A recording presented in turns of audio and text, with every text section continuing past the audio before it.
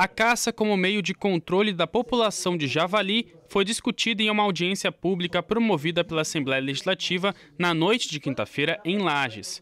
Proposta pelo deputado Lucas Neves, o encontro apontou os riscos que o descontrole populacional desse animal representa para a agropecuária. O parlamentar também é autor de um projeto de lei em tramitação na Assembleia que trata do assunto. Produtores rurais que participaram da audiência relataram prejuízos com ataques de javalis que não contam com predadores naturais e se reproduzem rapidamente. São comuns os ataques deles às lavouras, a outros animais, a, a terneiros, animais jovens, né?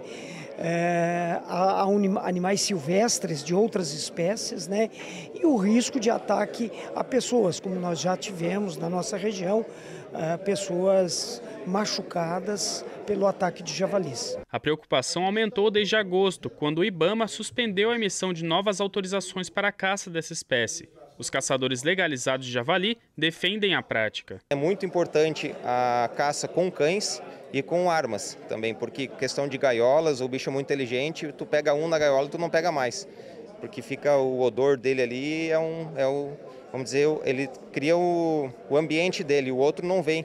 Então, o, o, a forma mais correta de se fazer hoje é com armas e com cães. Com o que foi exposto na audiência, o deputado Lucas Neves espera convencer os demais parlamentares da necessidade da aprovação do projeto de lei de sua autoria. A nossa proposição, primeiro, com esta audiência pública, era debater a lei que nós já propusemos na Assembleia. E com base naquilo que foi manifestado hoje aqui das autoridades, fazer um relatório completo, enviar para todos os gabinetes dos deputados estaduais da nossa Assembleia, para que eles estejam conscientes da importância de nós acelerarmos o projeto.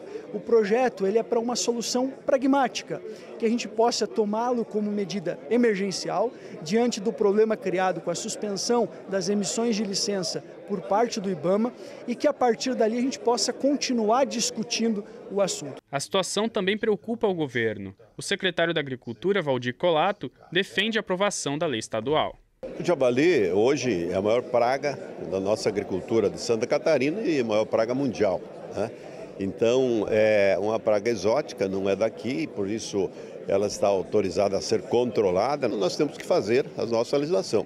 Por isso, o projeto de lei do, do deputado Lucas Neves, que nós tivemos uma reunião na Secretaria da Agricultura e foi essa a, a, o direcionamento que foi dado para construir esse projeto.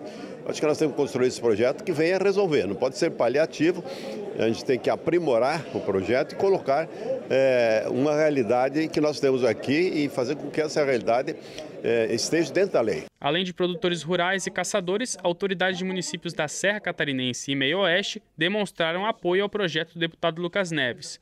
Os deputados Massoco e Márcios Machado também participaram do evento. É um predador da, da lavoura, né, traz prejuízos enormes para a agricultura e, acima de tudo, é, é um risco muito grande para a sanidade animal. É um animal que pode trazer uma doença e qualquer doença hoje ingressada numa granja traz um risco econômico, financeiro e coloca em risco a cadeia da, que é essa proteína animal, sendo que Santa Catarina hoje é o estado que mais exporta proteína animal para todo mundo. É importante o controle, deve ter controle, mas com regras claras, porque o caçador não pode ir lá e matar outros animais, porque a caça em Santa Catarina no Brasil é proibida. Mas tem muitos relatos que acontecem. São todos? Não, não são todos. Mas há relatos que isso acontece. Às vezes para matar um leão baio, mata um viado campeiro, mata um pato do mato. Então a gente precisa ter um controle disso.